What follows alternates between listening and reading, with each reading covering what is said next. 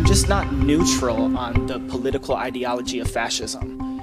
We condemn it, and we condemn it in full. And I tell my students the purpose in a democracy of understanding the traits of fascism is so that we can recognize it and we can combat it. And I have no problem with uh, the education system providing instruction on the existence of those isms.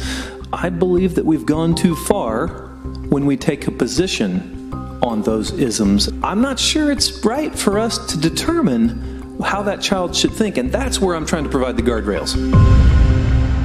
Hey, everybody. Welcome to the Muckrake Podcast. I'm Jared Yates Sexton. I'm here with Nick Hauselman.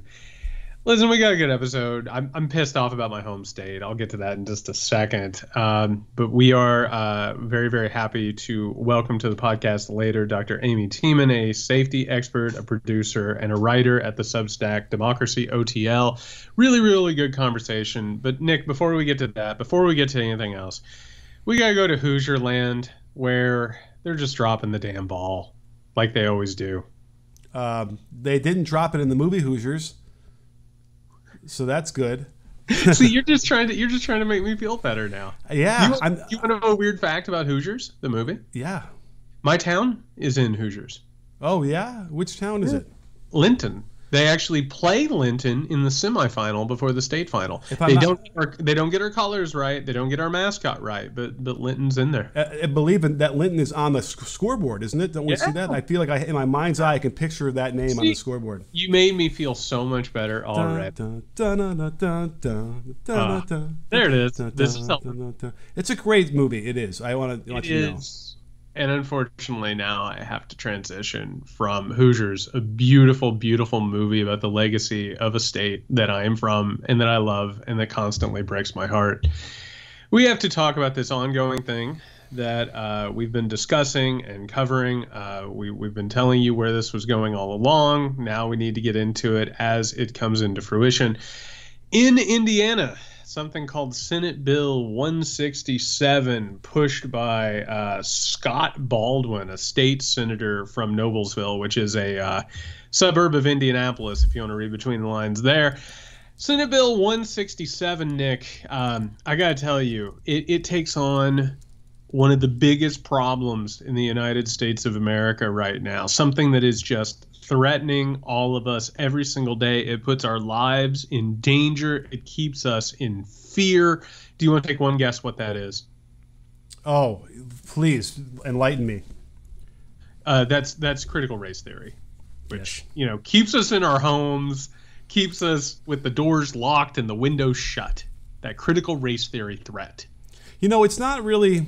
It, this is all about control, right? This is really not even a thing about educating kids or what they learn.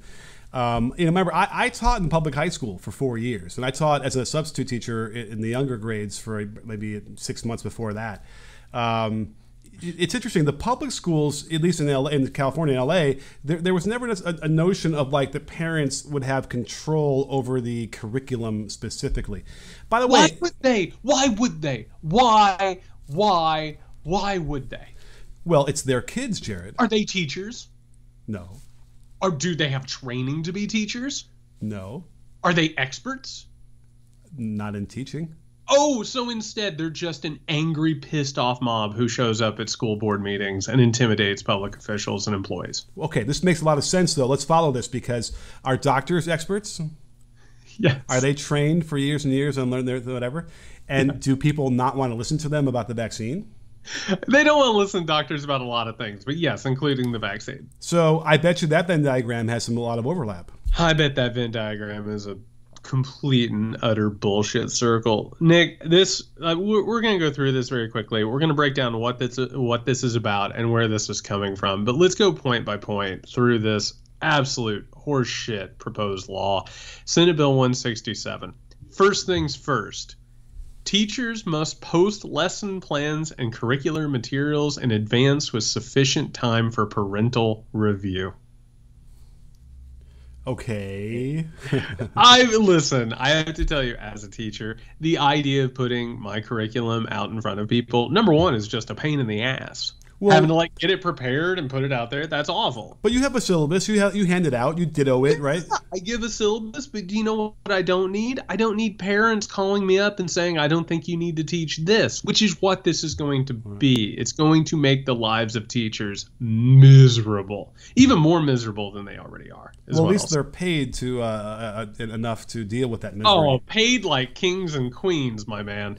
And and here's the thing. I and before we move any any further, can we just go ahead and establish the critical race theory hysteria doesn't have anything to do with critical race theory and it has nothing to do with reality. Teachers are not indoctrinating your children whatsoever. It is a completely made up political stunt conspiracy theory that is meant to mobilize parents and communities and uh, for Republican and corporate profit. Right? Is that fair? Is this the next iteration of you know abortion is going to be outlawed and people are happy about that, so they need the next thing? I wonder if this is that next thing that they they oh. realize they can manipulate.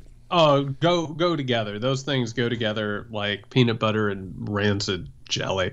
Second, parents. Are you ready for this, Nick? Oh yeah, Because you're a parent. I I am. You're a parent. You get to. This is for you. This is for you, Nick.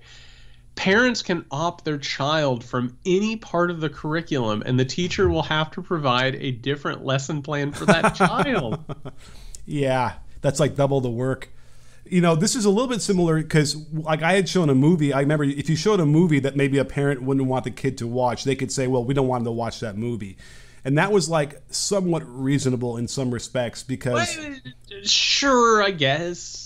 Yeah. But but but then again, if they don't watch the movie, then they can sit and like read a book or whatever in another classroom. They don't have to actually design a whole other curriculum for for one student.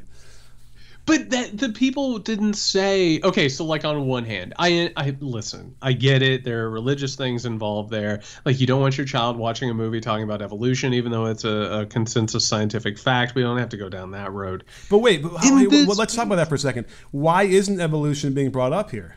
I didn't see it that that, that mentioned at all. No, I'm sure that that's part of it. That's the Oh. quiet underlying part of Really? it. Is it's not?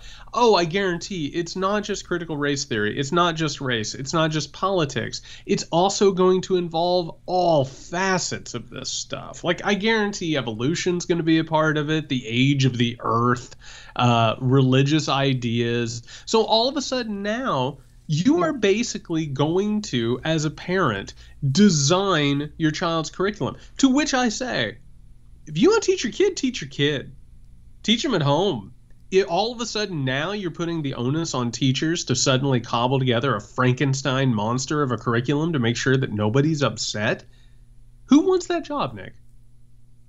Nobody, but, but you're right. Nobody. Now, add to the fact that they're being pressured to go back to school to teach in the midst of a pandemic, um, because the students themselves, oh, they're not at risk, without anyone ever saying yes. But what about the actual teachers in the room? I would imagine this would lead to a lot of teachers leaving the field.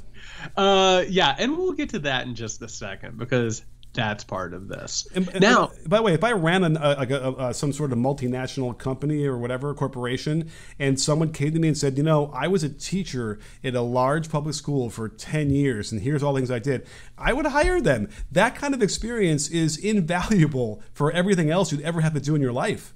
I and, and I want to I, I want to point out because something that you're bringing up here I think is really important. A large part of this is not just about indo- reverse indoctrinating children, right? Keeping children from questioning your values, communal values, thinking about things, knowing actual history, actual politics. It's also about driving teachers out of the field. It absolutely is. It's about making sure that people leave, particularly people who feel like their own values and their own principles are being trampled on with this stuff. Well, guess what happens if public education fails? And I want to go ahead and tell you what happens based on the idea that, that have they or have they not been underfunding education for a very long time? Oh, it, underfunding is not the word, but yes, It's not even. They've been attacking public education. And the reason why they're attacking public education is because they want one big thing. And I'll give you a hint of what that is. It involves people making millions upon billions of dollars, and that is privatization. That is corporations and individuals and groups going into what they believe is the one closed market where they can't make money whatsoever. And guess what they're going to do? They're going to gig economy this thing. They're going to take teachers, they're going to take graduates, they're going to have them go in and teach this stuff. They're going to hand them a script, they're going to say, do this stuff, and they're going to reap the financial rewards. That's where this thing is going. Well, what's amazing though is that one guy who's standing up to this in Indiana is a Republican. Yep. And he's a history teacher, which might already kind of get him to the center. But um, that was what was impressive because there does seem to be a little bit of a pushback here. That's how we've heard about it, right?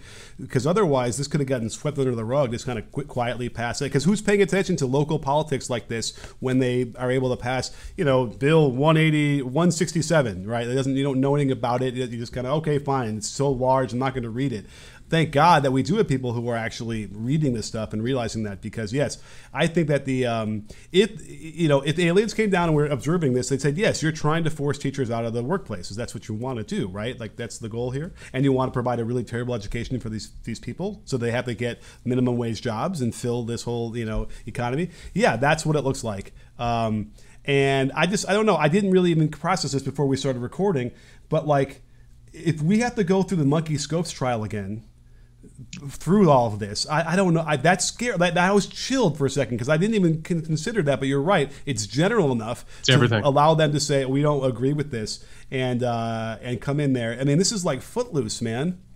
Yes. Yes, it is. That's exactly what it is. And it is about limiting information as much as humanly possible. I was, I, you know, I, I spent the morning, uh, you know, like most people do, had my coffee, and for the book, I was rereading uh, Trump's administration 1776 report. Do you remember that? Oh yeah. It was just a blip, right? It was the alternative to the 1619 project.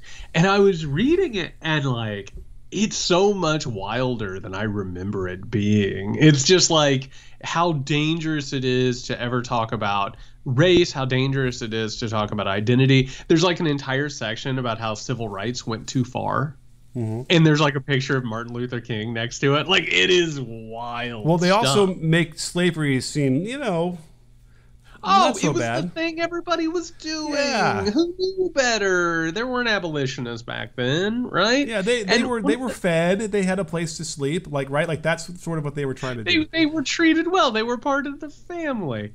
And you know, with all of this, and and I, man, just real fast, a couple more highlights. Yeah, there's going to be a committee that looks at these curriculums that are based on 60% parents and 40% educators. How's that percentage treat you? That works half the time. or something like that. I don't even know. That works none of the time.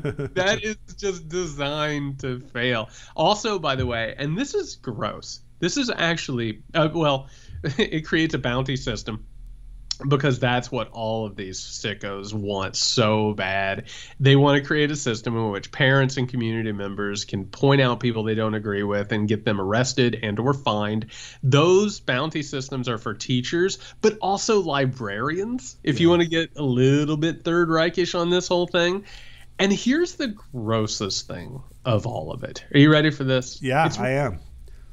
It bans educators from repeatedly interacting with students on social and emotional issues without prior parental consent.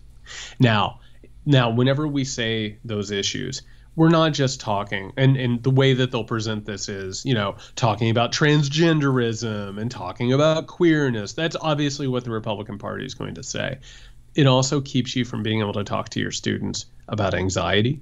It keeps you from talking to your students about abuse it keeps you from talking to your students about problems at home and basically cuts off every bit of sort of public oversight whatsoever. It's insidious. It's I, really disgusting. I mean, when I was a high school teacher in 1998 to 2002, we there were guidelines that were not really related exactly to this, but like for instance, if it's if a student wanted to talk to you one on one, you cannot close the door That door better yeah. be wide Yeah. open. Now that's that's obviously protect the teacher himself, but it, it, it kind of goes along with the walking on eggshells. We were so worried about things even 20 years ago uh, about like how these things could be perceived, what they might say. That uh, this is just heightened to that to nth degree, like to the point where the only interaction you would have with students is literally like "Good morning," and then you can go, uh, and then lecture. That's it. You know I have to I have to tell you, as my career has gone on, and I've taught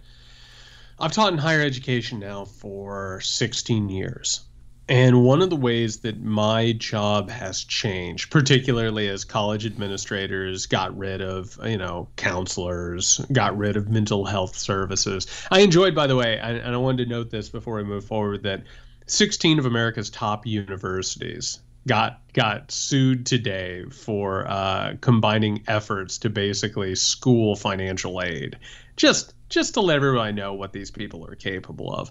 But as they got rid of counselors, as they got rid of mental health services, as they cut all of that and basically paid for athletic programs and lazy rivers that get you to the dining hall, professors became the mental health front line like we ended up becoming the people who not only taught but we also ended up becoming the people who had to field mental health concerns. We had to be there for students who were increasingly frustrated stressed out anxious uh, uh, scared often suicidal. That got pushed onto us in the same way undoubtedly it got pushed onto public school teachers because that's what happens in a country where you don't have these types of services. In this case the idea that you can't have conversations with your students about their well-being. I'm i'm sorry but the classroom is an intimate location. You're mm-hmm. supposed to have a relationship. It's supposed to be about trust and reciprocity and communication. This is turning it into an assembly line is what it's doing Yeah, I mean, there, there are certain parents that are very threatened by the notion that their kids would need to have help and that somebody else would know about it. You know, remember, this is the stigma of even going to get mental help was uh, atrocious, was a terrible Yes. thing for a long, long time. I thought as a society we, we kind of had moved past that, but it, it really feels like when you listen to these different kind of parents, the and it goes into the CRT thing is, you know, the idea that you have to have self-reflection or you can improve yourself, uh, you know, emotionally by talking about issues, um, it still must be an anathema to a lot of people out there, uh, and and they and they can't handle it because they don't have the control over their kids the way they would want to, which is exactly like, you know, I don't want to trivialize this, but like Footloose is the same kind of concept. But it's also and, and and Footloose absolutely is because if you actually think about Footloose as a little dystopian, you know what I mean? Yeah. Like let's talk about what this actually is. Let's talk about what the Republican Party represents and what these movements represent. There's a reason why these groups were opposed to women women's rights and equality, right? There's a reason why for years they tried to keep things like marital rape from even existing as a thing, right? Or domestic abuse, or the idea that, like, you know, corporal punishment of a child can be abuse. They think that child protective services, anything of the state that goes into the home, anything that deals with all that, they think that's tyranny. And they always have because they don't want anybody telling them that they can't do what they do. We are talking about just, and, and this is like bullet point, I don't know, six or seven on what this bill is, right? And and remember that the public school is one of the main ways that the state protects children. They're able to go there five days a week. Uh, occasionally, they can get food, although the Republicans have just tried to wipe that out. Right, one one of their one or two meals a day that they might get. It's a place of safety. It's a place of refuge. It's a place for people to figure out that children are being abused. If this were to actually go through, and this won't just be in Indiana, it'll be in every possible red state if it follows through. We're talking about really, really awful, nightmarish consequences. We're talking about child abuse. We're talking about cycles of trauma. And and that doesn't stop there because people who are abused, they can then go on and abuse, right? Because it is a cycle. It goes and it goes and it goes. We are talking about a white supremacist patriarchal cycle here, and it's it's it's nightmarish. Well, it's the obvious reaction to someone who realizes that over time there's a progressivism that sort of is built into yep. the to the community, to the uh, to the country, and we've seen it over the last you know since in, since the 50s. It's it's inevitable to some degree, but like obviously, if you can get to your kids and control that, you can certainly stem that tide if you if that's what you want. I mean, it got so bad that in one of the bullet points you mentioned was talking about how they couldn't characterized Nazis and fascists Nazism. as bad things. They had to present it as a neutral thing, and I yep. and that's what one of those history teachers said. It's like there's no way you have to fire me before I'd ever tell you that the Nazis were not bad. But like this is what we're dealing with now. The guy tried to walk back uh, the characterization of like what you know of course nazis were bad and we're, we're not afraid of having people say that but clearly this was not a, a, a off the cuff bill where they didn't think about these things before they put it down to paper and spoke about them before anybody pushed back. So that's where we're at. By the way, what? Is this can I read that quote? Yeah, go ahead. This, this, Baldwin asshole. Because here, here's the thing. You're exactly right. He did walk it back after there was like a public outcry. This thing went viral. It, it went viral in Indiana. He became a target very, very quickly because he's an extremist, reactionary asshole. And whenever somebody walks this back, sure, good on you for walking something back. But what I'm getting ready to read, what I want our listeners to do, and, and this is important, I want our listeners to imagine that they themselves are in the public arena, right? They're out in public, they're at a meeting, they're discussing something. You have power. You have a microphone in front of you, and you are about to say something, right? You are a person supposedly of, of respectable value. And this comes out of your damn mouth. He says, I have no problem with the education system providing instruction on the existence of those isms. And this is Nazism, fascism, I believe that we've gone too far when we take a position on those isms. We need to be impartial. I'm not sure it's right for us to determine how that child should think, and that's where I'm trying to provide the guardrails. Imagine that. You say that. You can say you're sorry after it goes viral or whatever, but he said it. Do you know what I mean? Like that's that's that's what he thinks. But but even just reducing things like Nazism and fascism right. to an ism, an ism is that when you use that phrasing, it's like something that that's not like necessarily trivial, but it certainly doesn't capture the magnitude of what Nazism stands for. And Six fascism. million dead. Yeah. World War II, the overthrowing of orders and law and basic human dignity. Right. Absolutely. It, you, it, you, how do you do that? Remember how the Republicans have been complaining, complaining about indoctrination for decades and decades of the kids. Green and and you know can't have we can't have them learning about treating the, the environment well, and um, and so they they go ahead and turn this around, and now we're in the process of having to say no, you are now trying yes. to indoctrinate the kids. Yes. Uh, and that won't land because they they've been spending all this time, all this you know effort fighting against what they perceive as indoctrination. So it's not going to like Projection. that doesn't mean anything to them.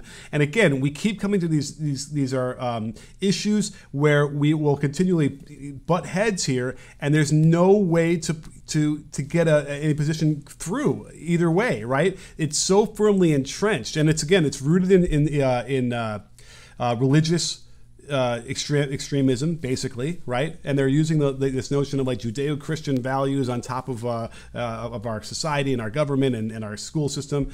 Um, that's the problem. When it was clear that they weren't supposed to be doing that from the time they wrote the Constitution. So here, here's here's the turn. Here's the rub. What I think here, because you're exactly right. When you are arguing this on its face, it's back and forth because what the Republican Party and what the right has done for forever is project. Yeah. Right?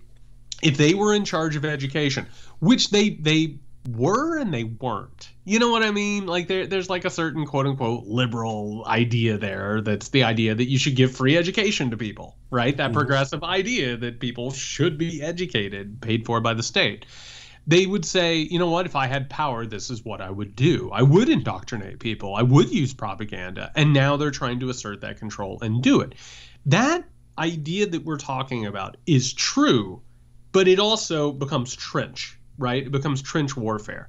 What I think the difference is, and I think where some distance can be made up, is by talking about how this stuff happens, how we've even arrived at this point. So, for instance, I, am working on this in the book right now. This is all part of something that was created by a guy named Christopher Rufo in order to go after, you know, what he saw as wokeness and he saw as a really good Republican uh, attack tool or cudgel. Guess who else sees it that way? The Kochs the wealthy, the think tanks, Steve Bannon. They look at this as a really effective political strategy. If you start talking about the top down nature as opposed to treating this as grassroots, right? The people in Indiana are doing this, the people in Virginia are doing this. Instead, you talk about the millionaires, the billionaires, and these propagandists. Not only does it ring true, because that's what's actually happening. But all of a sudden, then you start, I think, cutting the lines and the wires on what is actually being said or or being tried to accomplish. Does that make sense?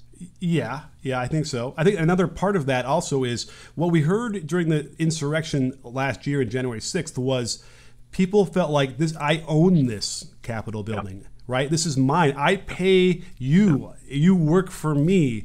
And I think it's the same thing with like public schools. I pay for this, so I own it and I get to tell you exactly how it needs to be run, right? That's sort of that same mindset. And again, does that work with cops, by the way? Does that work with cops? Can you just tell a cop I pay your salary and it takes care of it? I'm just checking. I feel like I've seen those clips before they tase them when they're yelling that at them and then it doesn't go so When they yell, don't tase me, bro. Yeah. Yeah. yeah. So, but, it, but you know, here, I keep trying to distill this into like, you know, it's hard to get into the mind of someone on that side because there's so many filters or so many different layers on top of each other that's kind of solidified into a molten, you know, cement that is it's immovable.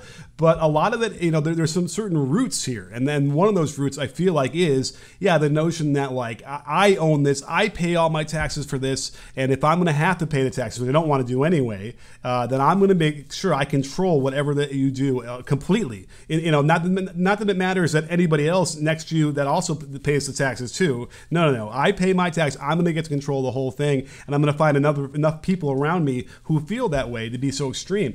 Um, that that's not a great way to have a society, right? No. Because it disconnects us from the notion of community and the fact that we're all in this together to help each other. Uh, and there are, you know, a myriad of uh, examples of how politicians, particularly on the right, unfortunately, have have promulgated this notion and had you know it, insidious or not it's been deep seated for a long long time. Uh, and i don't again we need better leadership i suppose to get us out of it.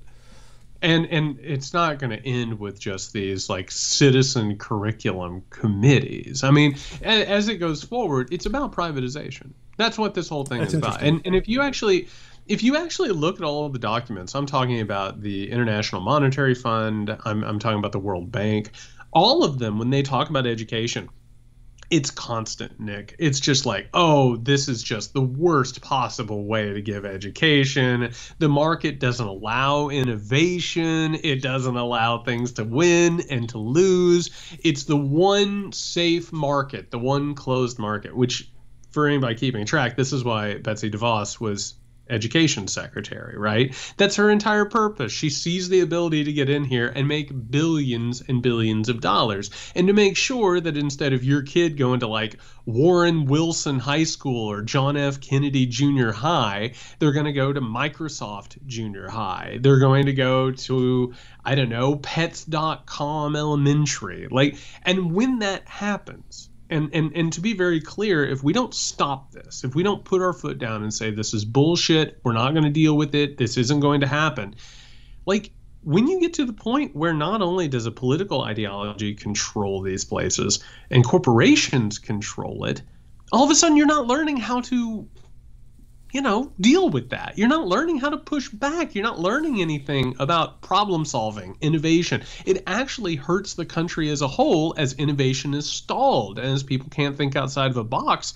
And we're going to be cogs in a machine. But the entire point is to drive out teachers and to try and make public education a privatized entity for billions of dollars. You know, there's a particular country I'm thinking of right now that wasn't always the way it is now And if you look at where they've ended up as far as how they treat their citizens and how they educate them, it's not hard to imagine that the beginning of that, where they are now, looked a lot like what we're seeing here. And that place I'm talking about is North Korea. Mm. Now, or China even.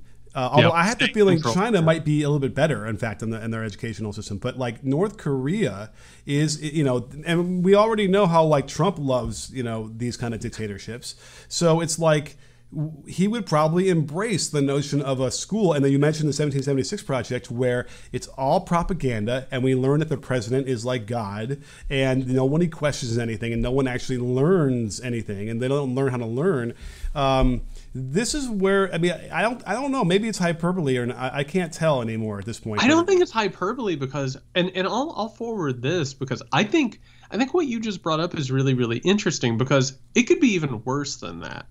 Because at least in China or North Korea the state controls aspects. You know what I mean? Mm-hmm. In in this case this privatized model, this neoliberal idea, would basically move education completely outside of the purview of the state.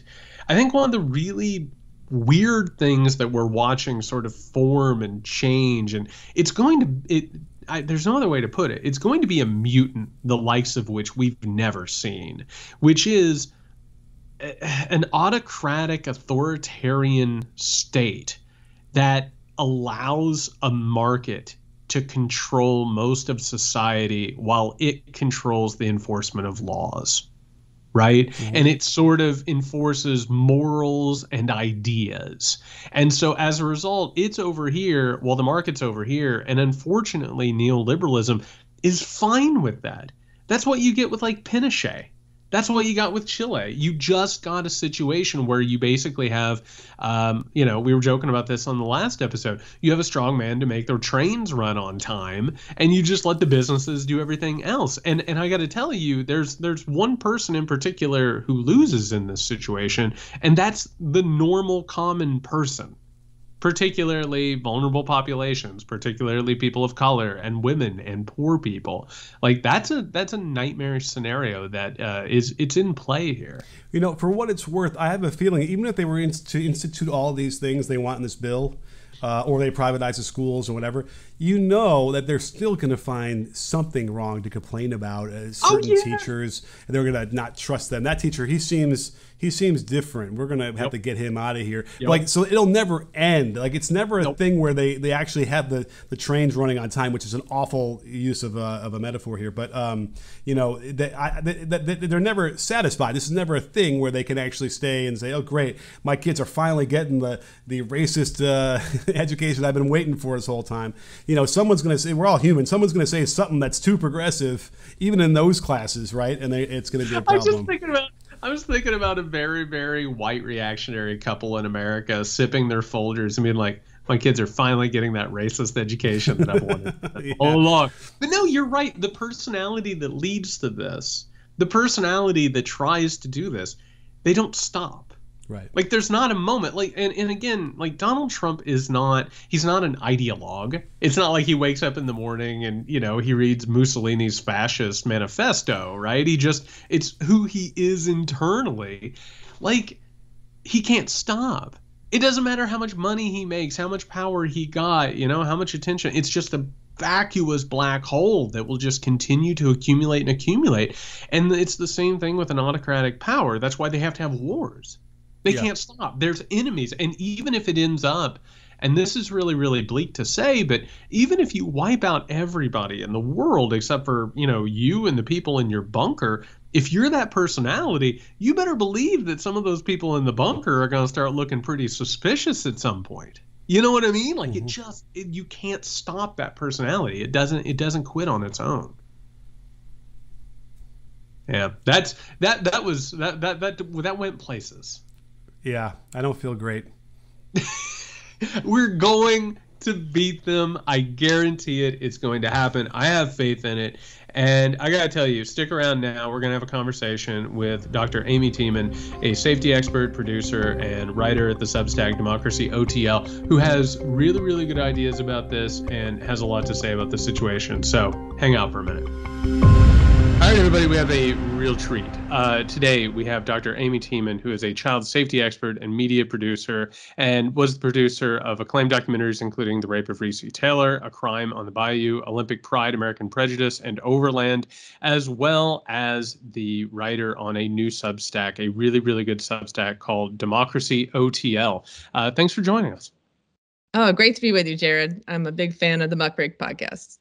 Oh, thank you. We're a big fan of yours, and you know, I wanted to get you on, and I wanted to talk to you. Uh, you have a whole host of things. I, I feel like you are uh, sounding off on a lot of really necessary topics right now, and uh, I, I, wanted to get your opinion on some of this stuff. And I wanted to begin. Um, you you did an interesting post. I believe it was on the anniversary of January sixth. Correct. Yep. Was yes. Okay, and and you know, I, I I read this and and I you might be aware I was a little frustrated by how January 6th was treated as a day and an anniversary. I'm I'm I'm halfway expecting mattresses to get sold in a couple of years, you know, and there'd be like uh, uh, Honda and and Ford trucks being sold for a discount. Um, uh, no, please. we we unfortunately are not good in this country at recognizing problems, learning from the past, dealing with context, and particularly understanding threats. And I, I, thought you nailed it with a, a three word uh, directive here. And I, I, was hoping you could talk about it, um, which was perceive, believe, and act, which I think really perfectly sums up what needs to happen, but unfortunately, what we're not doing in the United States right now. Thank you for picking up on that. I mean, so perceive, believe, and act comes from my work as a personal safety expert in the field of child abuse prevention. And it is, I've been interested in politics for a long time, specifically 2004 North Carolina to the present, which has been a real roller coaster ride. And to see North Carolina is wild. It is wild. It's part of why I take things so seriously because I see what happens when power shifts and goes off the rails and as the levers are pulled. So I'm sure we'll get to that. But it's really weird to see, you know, my personal safety work about how do you know when something is a threat? How do you take it seriously and not talk yourself out of it? And what do you do about it? That all comes together in our politics now. So the three steps are you have to perceive a safety problem, you have to see it, hear it, be paying attention. You have to believe that it can happen in your wonderful family, school, city, or this beautiful country of ours. And being here in the South, I've kind of had to deal with the southern slice of heaven uh, mythology that people move to North Carolina because they want to get away from big city problems and get away from, you know, perceived threats. But then I work with schools where teachers have been accused and arrested for uh, assaulting students. So mm-hmm. it can happen in the southern slice of heaven. It can happen in Chapel Hill, North Carolina, or any town, any family, any school.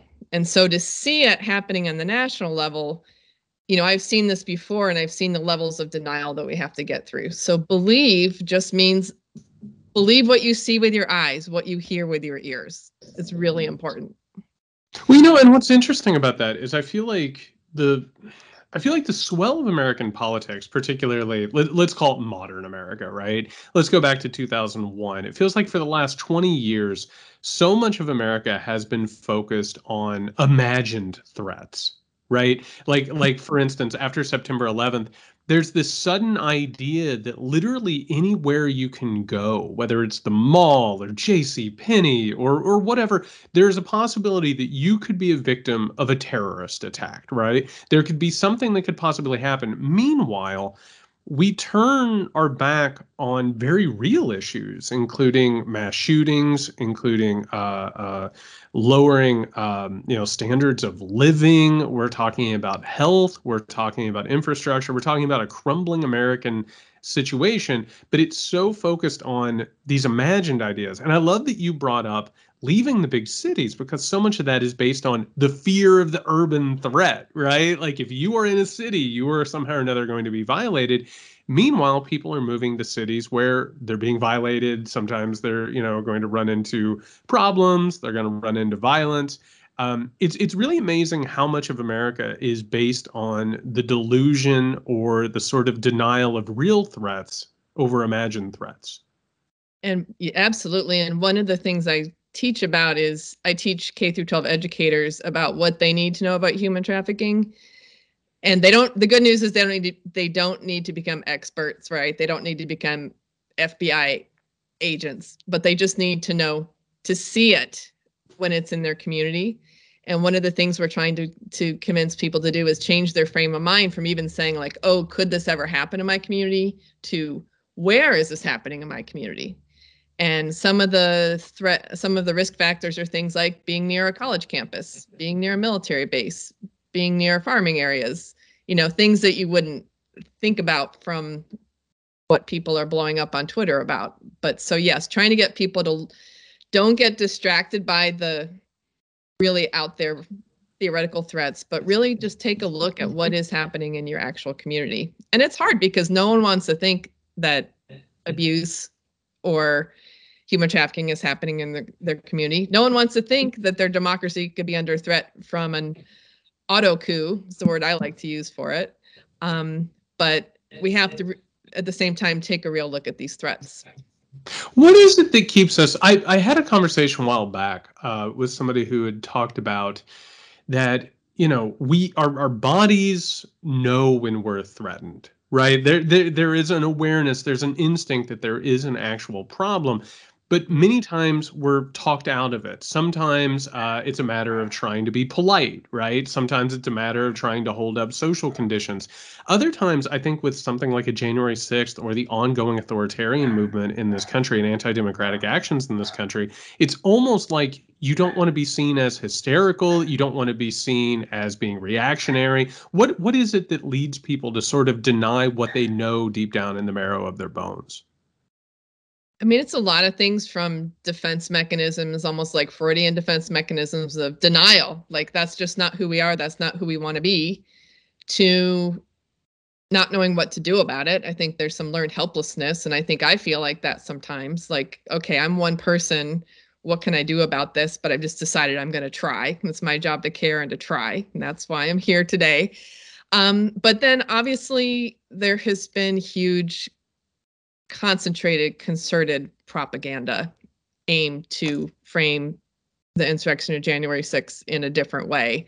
And I think, you know, when we talk about people going down a rabbit hole, um, part of my studies has actually taken me all into studying cults, studying high control um, organizations. And it really is the same thing about taking over people's information feed, taking over their mind to the point where if you're hearing the right uh, information outlets, you know, people who would never go to the Capitol on January 6th, um, or who wouldn't have screamed the big lie from the the rooftop, are now just sort of saying, "Oh, you know, I think there's something weird about the election. I'm not sure I trust it." You know, like you know, 45 year old stay-at-home moms in in North Carolina or whatever, or people who you know, it's it it has diffused out into the information uh, economy like like a real poison and I, I think we can't underestimate that. I think it's you know it is an information uh, propaganda operation. Well, yeah, it's fascinating to me because it's it's it's one of those things where I I try and tell people all the time just because people who want to destroy democracy and democratic institutions don't trust them doesn't mean that you necessarily should. I think there's been a long, slow problem in this country. I think we've seen our officials betray us. I think we've seen a lot of things co-opted, whether it's by special interest or by, you know, moneyed powers. There's a reason why most people feel like something's wrong. And and you know, we, we were talking a little bit before we started recording about that idea of child trafficking. And the truth is there is child trafficking going on in the United States of America, and it's a really big problem. But it's not QAnon. It's not a satanic cabal. It's not the elites doing this thing, even though there are obviously uh, abusers within halls of power and within wealthy circles. But that that sort of change of what the problem is and that narrative and that cult like mentality you were talking about not only like can lead people to radicalization, but it can allow people to look at an actual threat and sort of transfer that threat elsewhere, right? Yeah, yes, and I think that's part of the propaganda. It's, you know, look over here, don't don't look over here. And when I teach about human trafficking, I just I try to thread that needle really uh, carefully because I don't want to get people's defenses up either way and I'm talking to teachers and I don't know what their politics are, but I just say make sure you check your sources of information really really carefully vet them double check them you know don't just go off something on facebook or something on twitter. Don't let yourself get triggered and like just explode with big emotions and say oh my gosh children are in trouble. I'm going to go run and do something. You really have to check your information out carefully. And so we teach it in a very like calm matter of fact way and that's on purpose. We use department of homeland security information. That's on purpose to just keep it on the level of professional development. You're a teacher. This is what you need to know and look out for and this is what you need to do if you suspect a problem. Just trying to not get into that high emotion uh, arena when we're talking about these issues. So don't don't grab a long rifle and a revolver and go into a pizza restaurant in washington d.c you you you, you kind of advise against that and that was someone from North Carolina who did that. So I'm I, I was hoping you would pick up on that. Yeah, I was I was searching that whole thing this morning, and it's so tragic because I I think in a way, and again going back to the three that you laid down here, the perceive, the believe, and the act. The act is so important, right? Mm-hmm. Because we have not we haven't really been taught what to do in this situation.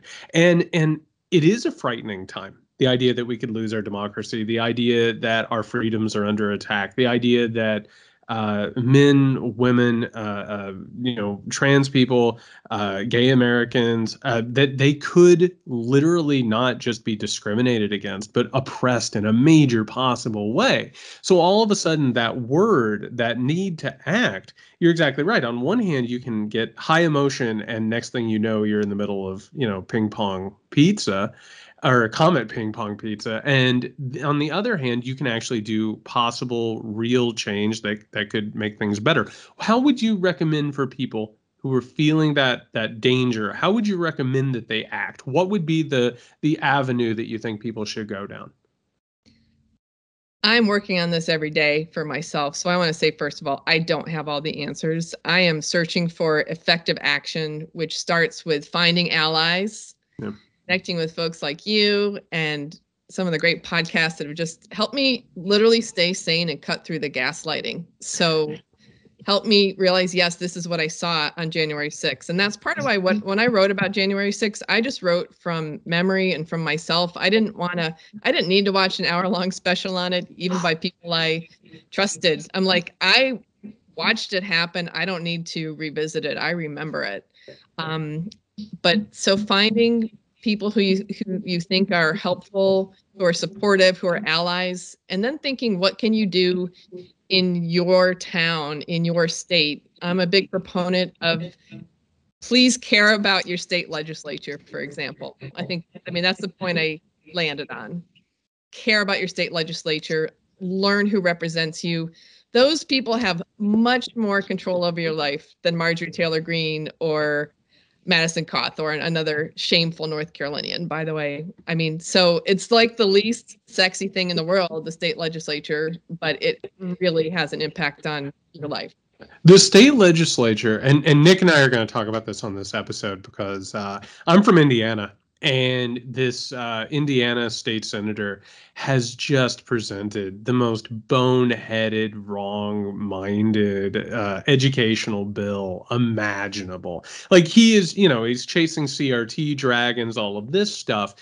And the truth is, what you just said is, is very important to know, which is those state legislatures, they have so much power and yep. particularly right now, and this was one of the things I really enjoyed about your January 6th thing, which was you did say start paying attention to these people.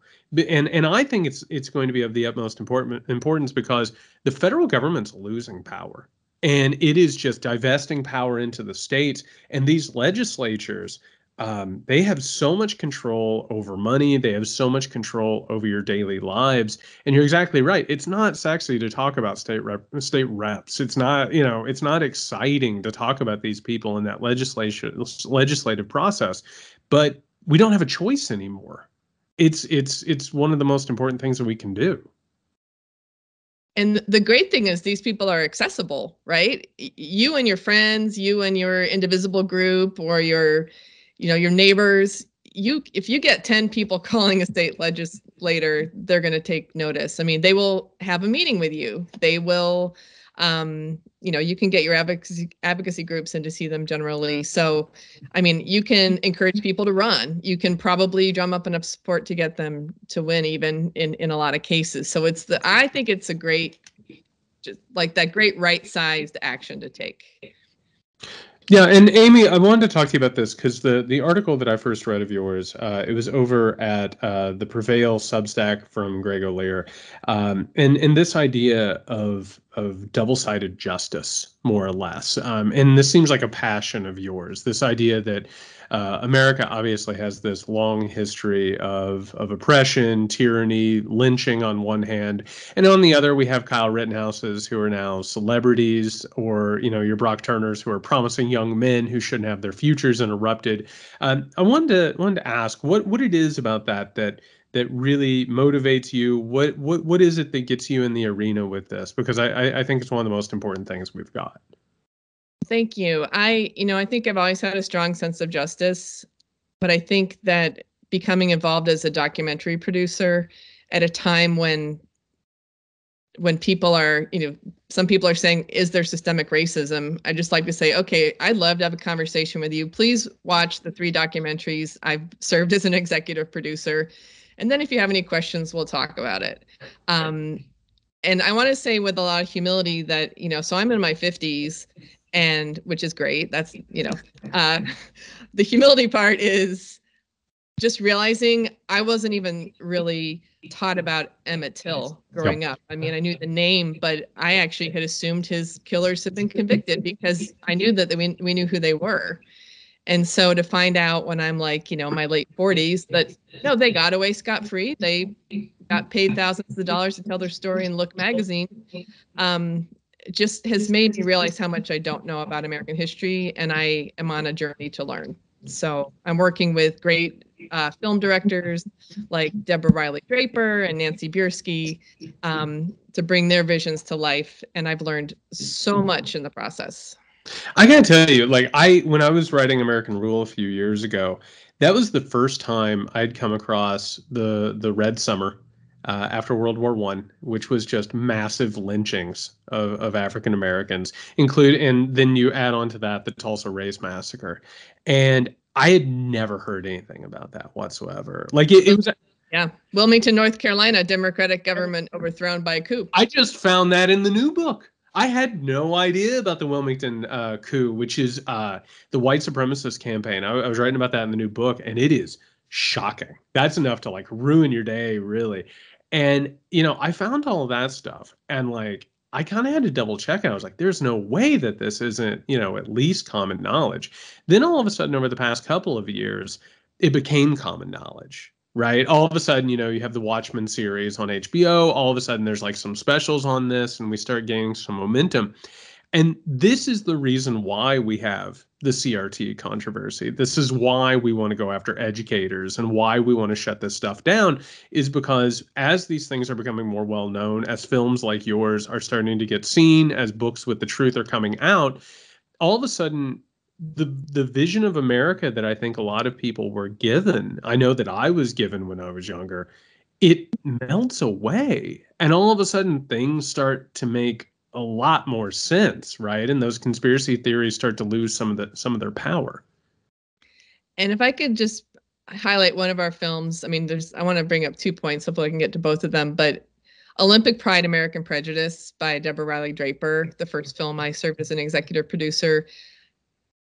It really changed my life in such a amazing way. I love this film with every fiber of my being. It's a story of the 1936 Olympics, and everyone knows, kind of knows, like Jesse Owens stood up to Hitler. Well, there were actually 18 African American athletes who competed, including two women. And, you know, there's so much more to the story than we knew.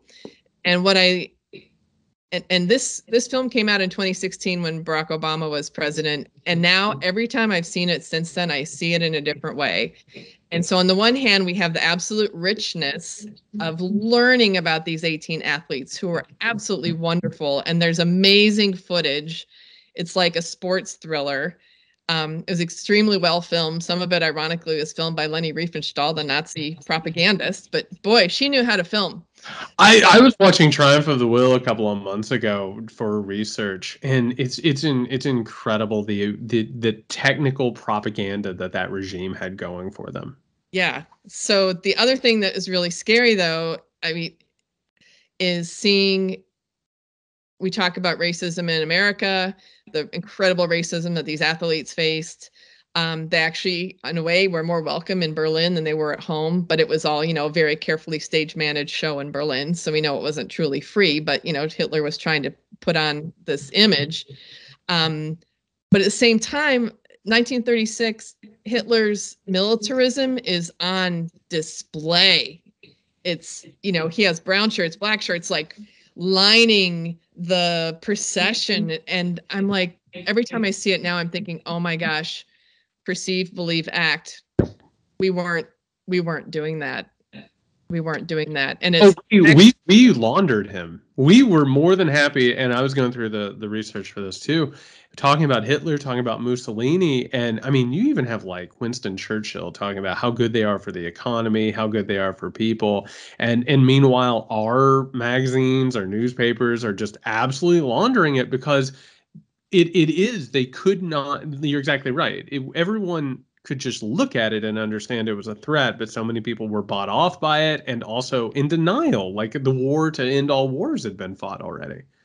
So and i believe the film's actually streaming on peacock now. I know it was a little while ago. It might come back. It's it might i hope it's still on there now. Um so i hope you'll i'll i hope you'll check it out and just ask yourself okay what did people think they were seeing in 1936 and what do we think we're seeing now? And actually the way deborah riley draper found this story was she was um, researching a jazz era like a harlem renaissance jazz musician Valaida Snow who ended up um, i think being a prisoner of war or got like caught up in world war ii when she was in germany.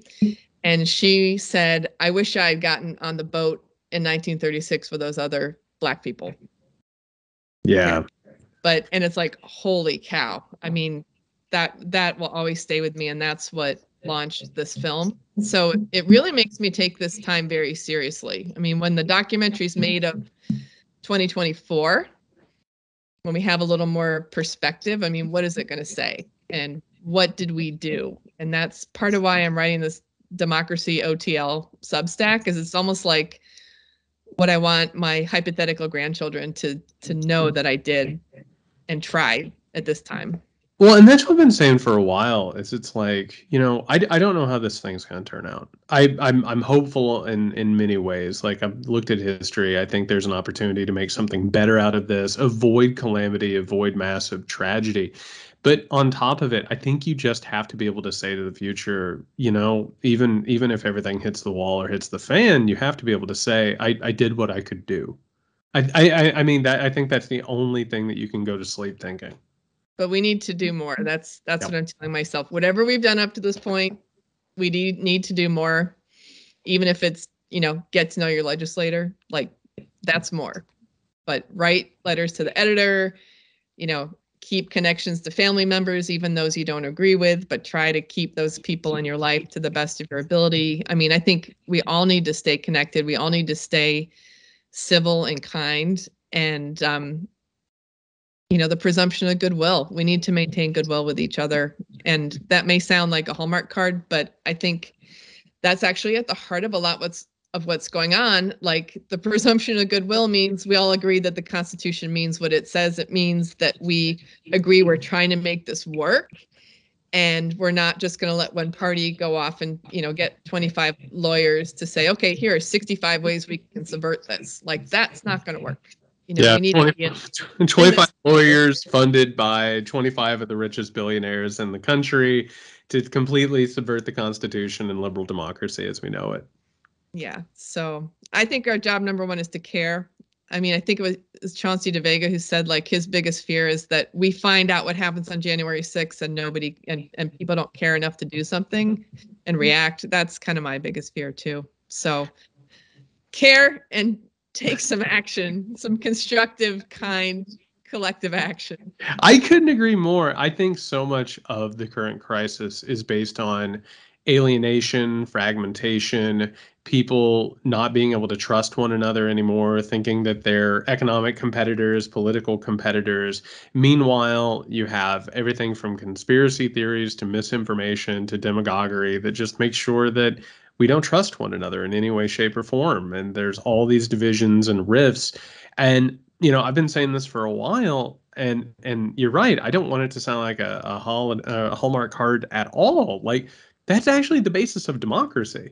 The basis of a healthy society is having real, actual conversations with other human beings about what's going on in the ground and how you can work together to make your lives better. And and we we've kind of done a terrible thing by making that seem naive and making that seem sort of cringe and embarrassing, right? Because it's it makes you a dope, it makes you a loser, it, it makes you vulnerable to other people. But I, I I think that's the essence of it is overcoming that sort of idea.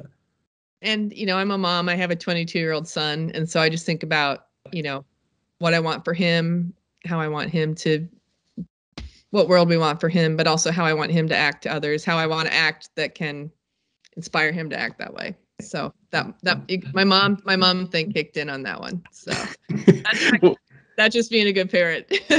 Well good. And and before we get out of here uh, i wanted to ask you you you'd given me a little bit of a preview of, of your next article in which you're going to be talking about generation x the leadership cliff. I was wondering if you could you could tell the listeners a little bit about what you're getting ready to write about. Yes. So, as a proud Gen Xer, I have always had kind of the feeling that we are being squeezed out of leadership positions. That's the Generation X feeling, Politics. right? Okay. That's... I went at the data. I'm a scientist. I went to look at the data, and there's a wonderful data set that shows the age of uh, senators in the U.S. Senate over time. And um, I did find that indeed Gen X, who is about one out of three people who would be eligible to serve in the Senate, there's only 19 Gen Xers in the Senate and one millennial, Jon Ossoff. So only 20% of the Senate is ages 57 or younger. 80% is older. And when I went back for a comparison, I went to look in 1993, kind of when Bill Clinton was just elected, and it was like, don't stop thinking about tomorrow. Here's the new generation. Um, it was, I believe, half of the Senate. I think it was 49 was ages 57 and younger.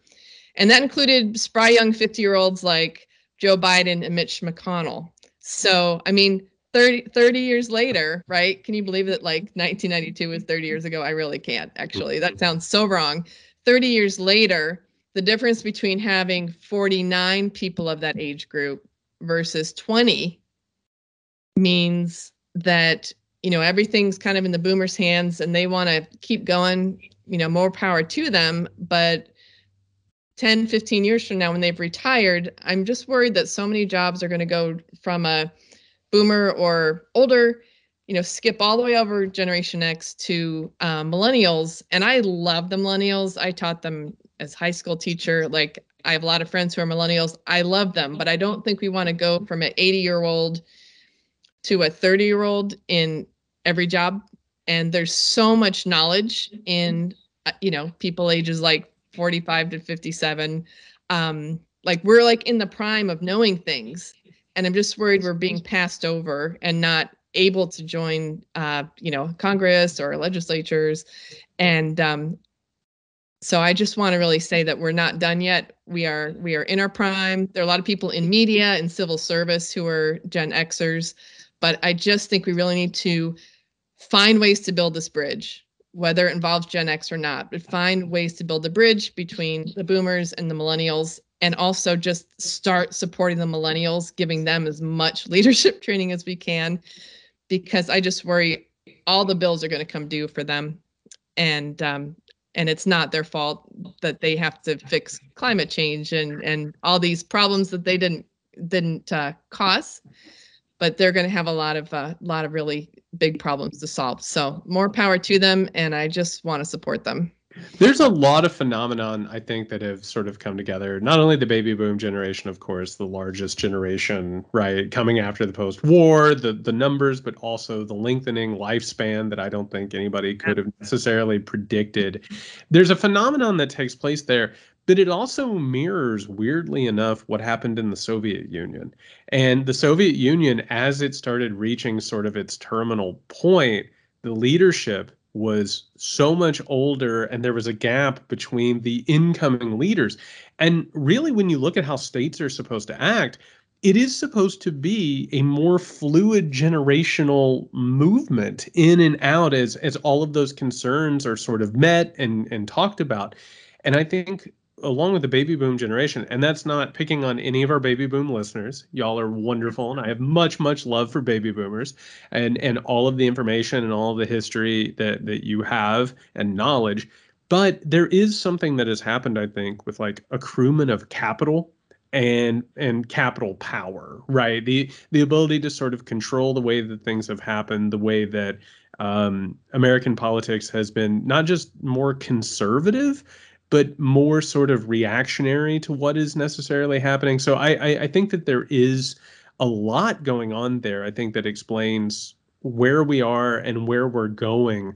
And we might look up, and this is a concern, I think. We might look up and there's not much of a bench there.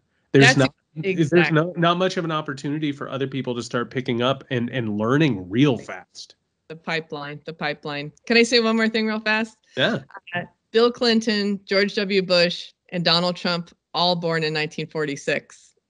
So oh, that's wild. The young president in 1992 is the same birth year as the old president in 2016, and Joe Biden is, of course, four years older. So that's wild. I don't I don't know if I'm going to be able to uh, to go forward with that. That's a lot. But that uh, that's going to be up on uh, Dr. Tiemann's Substack, and that is Democracy OTL. Uh, Dr. Tiemann, you are wonderful. Where can the good people find you? Okay, yeah, Democracy OTL is about democracy is on the line in 2022. Also, you can find me uh, Amy Tiemann PhD on Twitter. I love Twitter and amytiemann.com. I wish I could say I love Twitter as well, but you know, I, I get the idea. Yeah. Yeah. I'd love to see your listeners on Twitter. Let's put it that way. Thank you so much. Thank you. All right, we are back, and that was Dr. Amy Tiemann. Uh, we thank her for coming on. Really, really good conversation. Um, yeah, you know, I didn't plan on getting to an apocalyptic bunker with an authoritarian personality looking around and thinking about the end of the world. Sorry about that, Nick. Um, well, it's okay. I forgive you. I'm so pissed off at Indiana. I, you know, I was doing research on this book. Do you remember the the Religious Freedom Act? I think it was called in Indiana. Do you remember that? No it was so a lot of this stuff and we'll be talking more about christian nationalism and national conservatism here in the near future but this was this thing i want to say it was in 2015 mike pence signed it and it was like it was back whenever they were like hobby lobby shouldn't have to pay for birth control. Yeah. Right and notre dame shouldn't have to pay for birth control and indiana tried to tried to pass this bill for religious freedom quote unquote and there was such a backlash that like the NCAA threatened to move the Final Four and other corporations plan to move, and then they rolled it back. Do you remember that? Yeah, that sounds familiar. Yeah, I remember that. Yeah, so Indiana um, is up in front doing some of this crazy shit. It'll be interesting to see if there's any more corporate pushback or if corporations are going to sit this one out. You know, that's interesting, especially in the light of what we've seen recently with like the All Star game um, had been moved from North Carolina. Um, maybe. I mean, it, you know, the, the, the woke corporations seem to know uh, what's what what sells these days, or, at least understand. Those communist corporations. Yeah, they understand at least how how to appear like uh, they they're good people that want to sell things to people. But um, yeah, it, it's troubling, and I and I feel like you know what was. almost could be taken as nefarious is the guy that's pushing this bill. Uh, actually, was it? Uh, remind me who it is. It's the governor who's interviewed. Um, in the in this article you're reading, he actually invites the history teacher that stood up to them and said, "We can't do this." He invited them in to say, "Hey, let's fix this together, you and me. We're gonna like bring the people who are all against this into the process." I, I don't know. I get I get my hair stands up on the back of my neck when I hear that because I feel like that's just a way of corrupting something and trying to get someone who in, you know is in a good place to try and argue this to shut up or buy him off. I don't know what. I, I, want I want to say this, and I want to say it very clear, and I want to say it very loud, with no ifs, ands, or buts. There is no compromising with this shit. Yeah. There's not. This is not innocuous. This isn't bipartisan. This isn't harmless. Like, this is really, really authoritarian, slippery slope territory. You don't play around with this. You say no, you reject it. I agree. I agree. Like, there's, there's no, hey, you can't say, well, hey, at least let me be in the room you know, this is what hey, Dr. I know, did. I know right? you kids are having a good time burning your books, but if you could just hold it down while you know we try and go to yeah. sleep, that'd be great. Yeah, well, and, and trust me, I got to be in here. I got to at least be in the room. So I can listen to what they're doing. I can tell you what's happening. But oh. like, this is what Dr. Birx did, and like led to you know uh, how. She's kind of gotten out of this, right? we don't remember her being, you know, complicit like she should be remembered. And you know, anyway, um, it's a real problem. And uh, you know, living in California, it's like I, I, don't, we don't feel that at all. By the way, as a teacher, I had no curriculum. I had to make it up myself with no guidance from the departments at all which is like equally ridiculous, right? Like that's ridiculous. And um, and so I can remember even you know there's different extremes with this, but at the very least uh, we need to be able to teach the the facts of what happened in this country. We need to be able to have a discussion where you're not so afraid for your job because remember the the penalties here uh, are really really terrible. It's not even the fact that. Um, you know, uh, here I'll read it to you. A penalty for being perceived to violate this law Uh, oh. A, a, parent could file a complaint leading to the unpaid suspension, termination, and license revocation of the educator. Oh. This complaint need not be filed by a parent of a student in the teacher's oh. class. Guess what? It gets worse. There is no statute of limitations for filing a complaint. You could go back 20, 30 years. Man, I oh. hated my teacher in history when he said so and so. Let's go, you know, get him out of there. Take I mean, that, Mr. Jackson. Yeah, yeah, and then obviously uh, librarians could be jailed for disseminating material deemed "quote unquote" harmful. And by the way, what is that? That's any material that includes gayness. It includes ideas about transgender. It's it, anything that these people deem inappropriate. Well, I think one of the books they were referencing was like Native American, somebody feeling uh, like it was yep. a, a, life of a Native American kid and how they get treated differently, like yep. as if that is. We can't be reminded of that. We don't. I don't want to put that in my face. I don't want my kids to learn about how bad you know the world. They're going to find out soon enough, Jared, how bad the world is. Why do we have to tell them about it in seventh grade? Like, I, I don't know. I want everybody to know how bad this damn world is as soon as possible, Jared. and so we can figure our way out. I completely agree. All right, everybody. So we're going to come back for the Weekender episode on Friday. A reminder, all you have to do to gain access to that is go to patreon.com slash podcast. Uh, the Weekender, one of the best parts of my week. Uh, you're going to want to hear this and join the Muckrake community. We have a bustling Discord, uh, some of the best social media that you're going to find. Really, really good people, great conversations. Uh, that again, that is patreon.com slash podcast. Thank you to everybody who supports us. If you need us before You can find Nick at Can You Hear Me SMH. You can find me at JY Sexton. Be safe, everyone.